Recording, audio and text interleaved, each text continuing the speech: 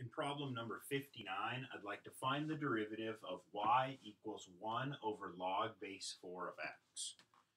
All right, so the first thing I see here is this is a quotient.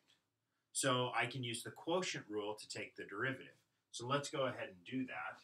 Uh, so if I write this as dy over dx, then this is going to be the bottom left alone, log base 4 of x, times the derivative of what's on the top. But the top is just 1, whose derivative is 0.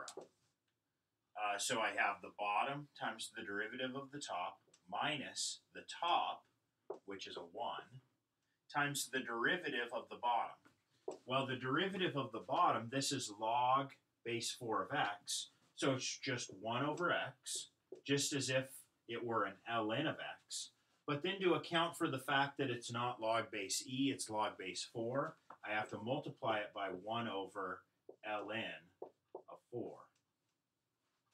Okay, so I have the bottom times the derivative of the top minus the top times the derivative of the bottom over the bottom log base 4 of x quantity squared.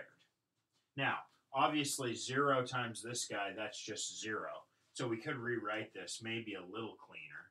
Uh, on top, we'd have it's negative 1 over x ln 4 over log base 4 of x quantity squared.